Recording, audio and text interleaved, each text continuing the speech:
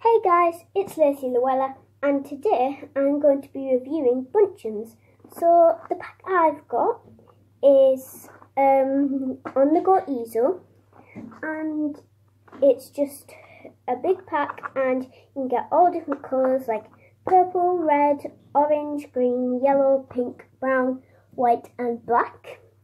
And um, what you can do they do is it you've got this like board thing. It's like what do you call it? Velcro. And you stick them to the thing and they stick and you can make all kinds of like different pictures and it's just really cool. But make sure you tie your hair up if you have long hair because they easily get stuck to hair and if it gets stuck in your hair it's not good. It's not easy to come out. It took ages to come out when I had it once. That's happened to me once and it was just really bad. So make sure you tie your hair up. If you've got longish hair.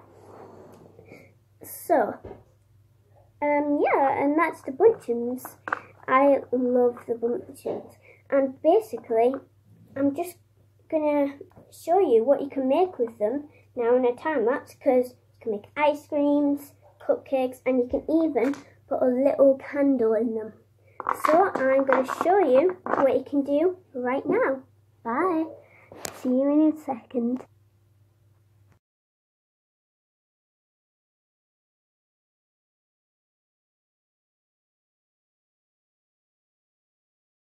I'm back guys and in a time lapse you just saw me make this beautiful ice cream. I made it a lemon top and I just stuck the white and then some yellow on the top. So there's the lemon top. And then this is the cupcake, the blue cupcake case.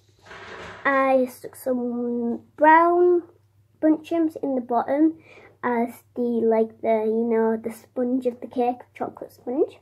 And then pink icing on the top with pink bunchems and then you can put a candle and you just put it in the hole in one of the bunches. And also I forgot to mention that it comes with instructions. Um, it shows you how to make a cupcake, one of these cakes and the ice cream. You don't have to follow the instructions though.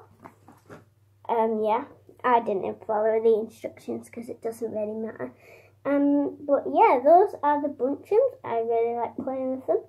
And yeah, um, like this video if you liked it, and um, subscribe for more. And I will see you on the next video. Bye!